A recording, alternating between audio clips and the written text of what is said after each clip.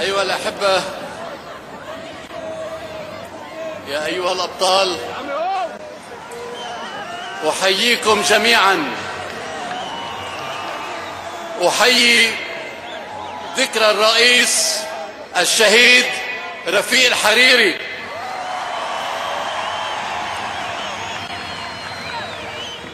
فروحه حاضرة هنا وإن غاب بالجسد. فله. ولكل شهداء لبنان الوفاء والإصرار على المضي في, سم في مسيرة النضال التي ساروا عليها واستشهدوا في سبيلها. لقد أحب رفيق الحريري لبنان كل لبنان. أحب شباب لبنان وكم منكم الآن هنا استفاد من خير رفيق الحريري في التربية والتحصيل والمنح الدراسية. أحب عاصمة لبنان وهي بيروت شاهد على ذلك وجعل منها لؤلؤة وجعل منها من أجمل مدن الشرق البحر الأبيض المتوسط.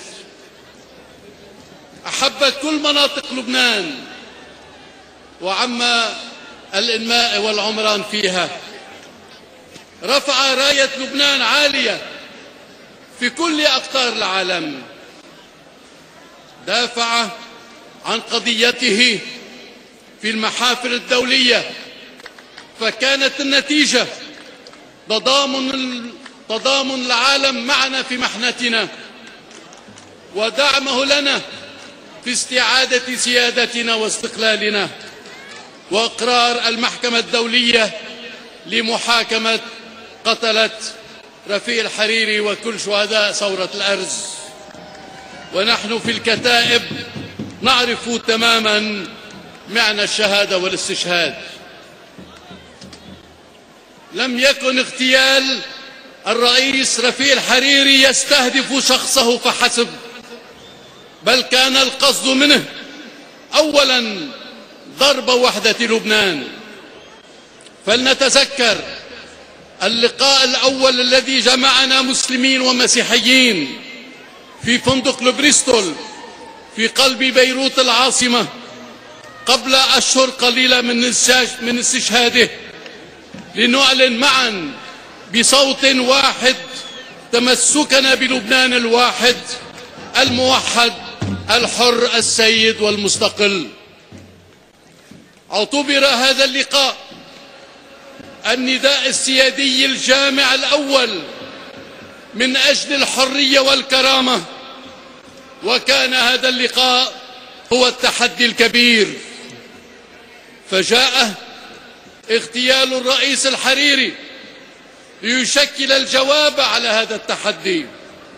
تبعه الزلزال الكبير الذي هز الضمائر في الرابع عشر من شباط 2005 وبعده الانتفاضة الشعبية العفوية من أقصى الجنوب إلى أقصى الشمال.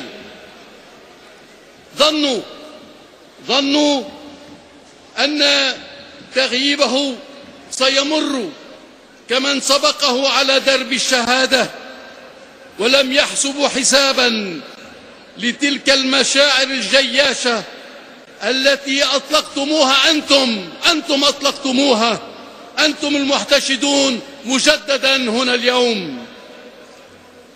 ووصلت أصداؤها إلى أقصى الدنيا. انتفاضتكم الوطنية غيرت مسار الأحداث اللبنانية. وأججت شعلة النضال وأظهرت أن إرادة الشعب اللبناني الكبيرة كبيرة من أجل الاستقلال والكرامة.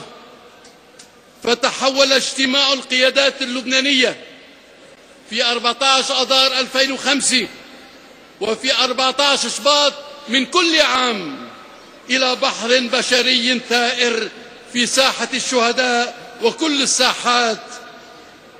يصرخ يصرخ ويقول نعم للبنان نعم للحرية ولا حياة لنا إلا بالعزة والكرامة والعنفوان.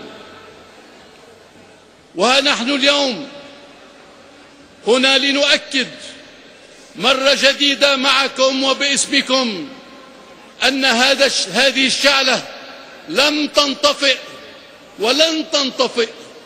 مهما تغيرت الظروف ومهما عظمت التضحيات والتحديات فتحية لكم أيها الحاضرون هنا في ساحة الشهداء ساحة الحرية وفي كل مكان تحية لنضالكم وإيمانكم المستمر بلبنان. وإننا على العهد باقون وسنكمل المسيرة معا. وسننتصر معا. أيها الأحباء إننا ندرك حجم التساؤلات التي تدور في بالكم وبال جميع اللبنانيون وهي تساؤلات مشروعة. وما حضورنا هنا اليوم إلا للتأكيد على ثبات مسيرتنا الوطنية وعلى الثوابت والمقدسات. وأي متغيرات محلية أو إقليمية لا تغير لحظة في مسارنا الوطني أو في عزيمتنا للمضي في بناء الدولة القوية العادلة وتعزيز الاستقلال وإنجاز السيادة. إننا نسمع تساؤلاتكم ونشعر بهواجسكم ولا بد من خلق ديناميكية جديدة تعيد الثقة والإيمان إلى النفوس القلقة وتزخم حركتنا النضالية من أجل لبنان. ما تخافوا ما تخافوا فإن إرادة الشعب هي دائما الأقوى. هكذا علمنا التاريخ هكذا علمنا تاريخ لبنان بالذات. بالأمس القريب انتصرت إرادة الشعب إرادتكم أنتم على الظلم والاستبداد فكان الثمن غاليا بالتأكيد ولكن لا حرية ولا كرامة من دون ثمن. سنظل نطالب بالسيادة ونعمل من أجل إنجازها فالسيادة عندنا ليست مجرد كلمة أو شعار. فنحن ندرك تماما معناها ونقدر مستلزماتها. السيادة الوطنية هي أن يكون لبنان بأسره والعشر تلاف أربعمية واثنان وخمسين كيلومتر مربع بالكامل بعهدة السلطة الشرعية المنتخبة ديمقراطيا وأن لا يكون على أرض لبنان أي سلاح غير سلاح الشرعية اللبنانية تحت أي ذريعة.